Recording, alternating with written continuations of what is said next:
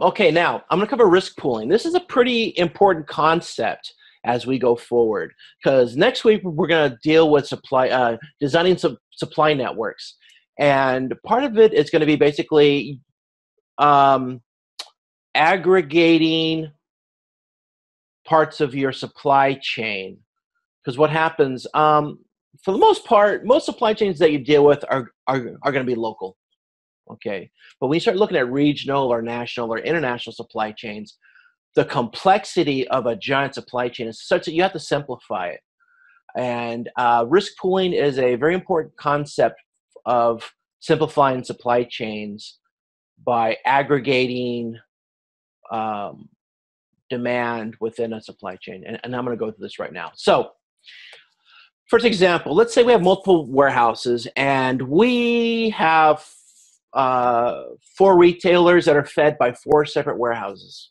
Okay, so um, in, in this example, average demand per site is 30 and the standard deviation, um, I'm assuming everybody understands what standard deviation is.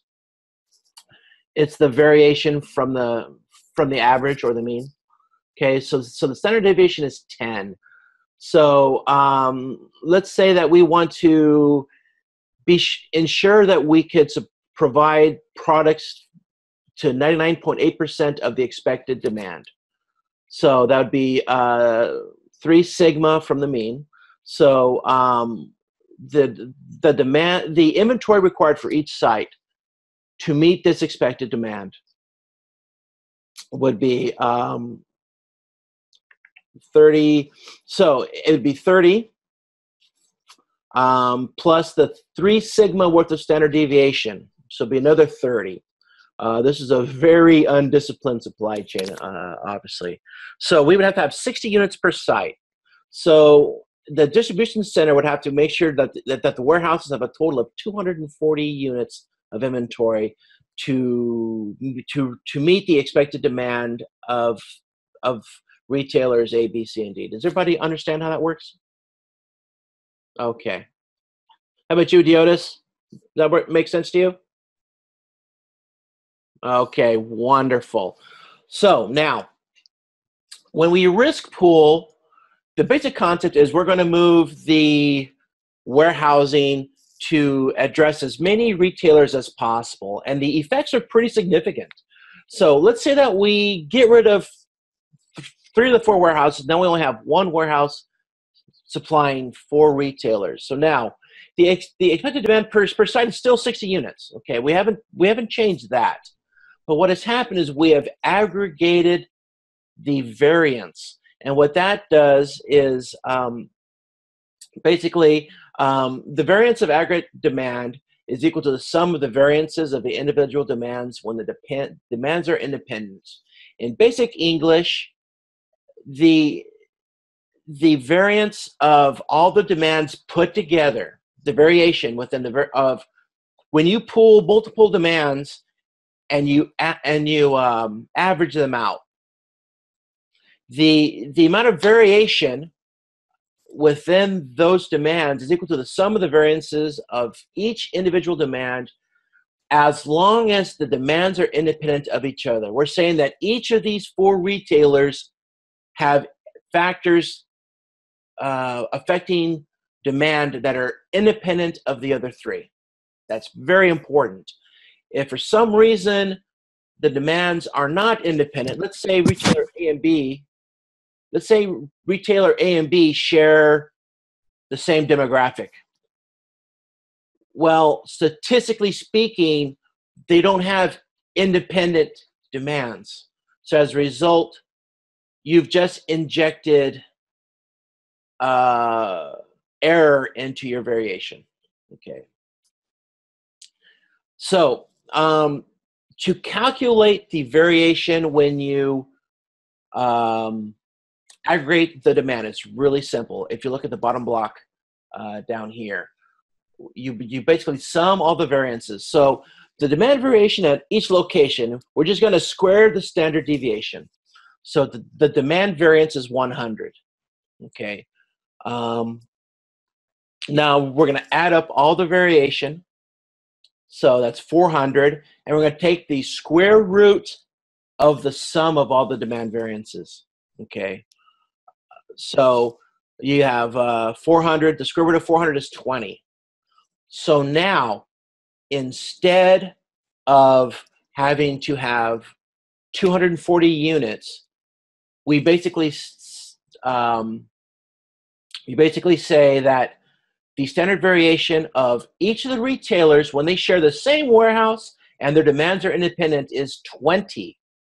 So now what we need, it's down here, now what we need to provide the supply uh, for the for the retailers to be kept at warehouse A is is your original demand, which is 30 per site, plus 20 times 4, which is 80. So now, as a total, we need 180 units kept at warehouse A.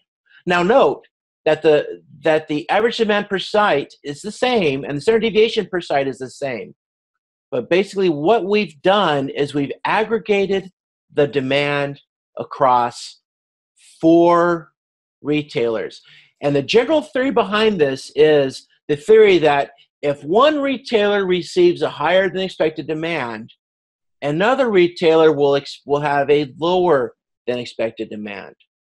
Now, there are some flaws in this that have to be, be assumed. Like, for instance, um, one, of, one of the, one of the uh, classmates talked about seasonality of demand. Uh, during high season, if your demand spikes, as long as your demand spikes across all the sites at the same time, and the demands upon each site is different, you're okay. But if let's say retailer, um, well, so if if say retailer D has a sudden high high season, um, it, it's a, it, it's assumed that the other three will not. Okay, if you have a seasonality effect that affects all four, you don't have independent demand variation all of a sudden. Okay, so let's say we're in four parts of the country, and one or even two of, of the sites suddenly get a spike due to seasonality, let's just say.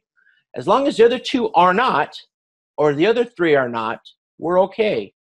Okay, but for the um, well, actually, the more that suffer from the seasonality, the worse it is. Your accuracy of your aggregation decreases the more people share. So if you have one, uh, let's say retailer D's in Florida selling condos in the summer, their seasonality spikes. As long as the three don't spike, you're okay. Okay, the three sites basically absorb that variation. Okay, but when more than one site has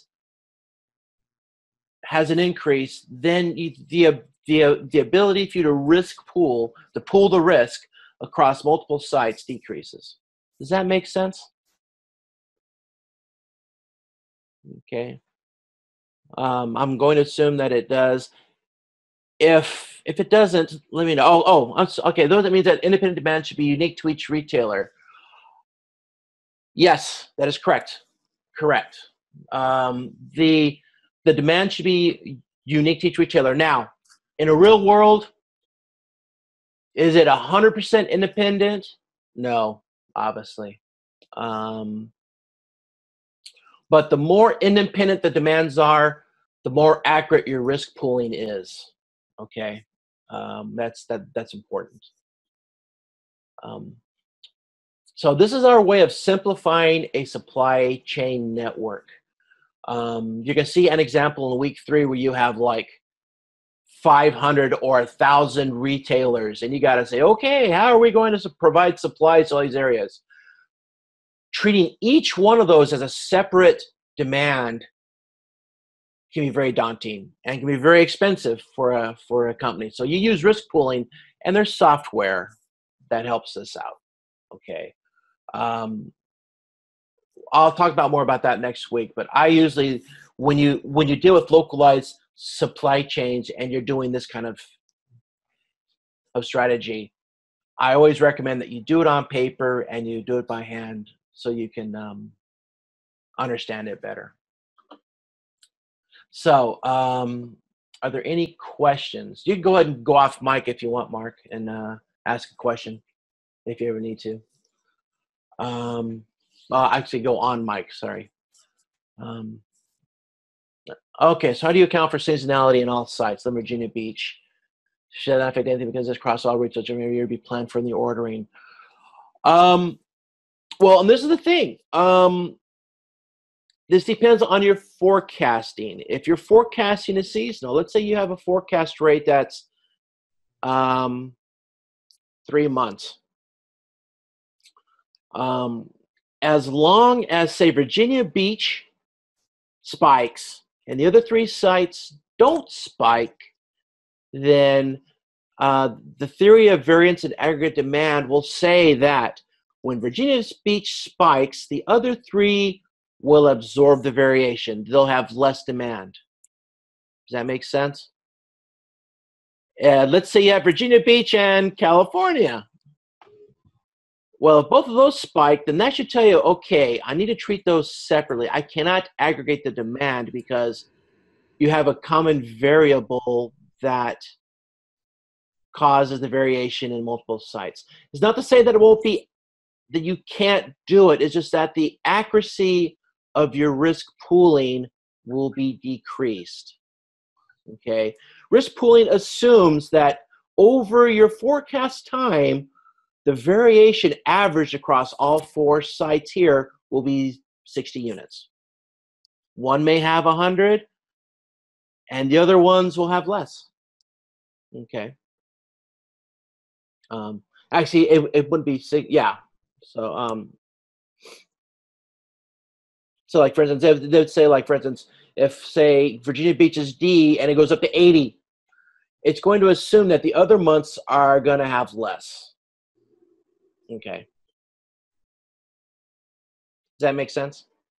Because your average demand is 30.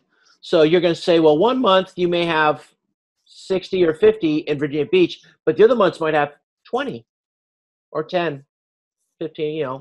Um, overall, um, the more accurate your standard deviation, the smaller the standard deviation, the more accurate your risk pooling will be. And the more independent each demand is, the more accurate your risk pooling will be. Does that make sense, Deotis? Okay. Um, if, uh, once again, I'm making some assumptions that um, everyone's comfortable with general statistical theory um, and, and is generally comfortable with the math here. But if I need to create something in the in the class to go through this more, please feel free to email me, um, and I'll be more than happy to uh, try to put something together for you guys. So okay, that's that's that's probably the most important concept of, of week two that you'll need going forward.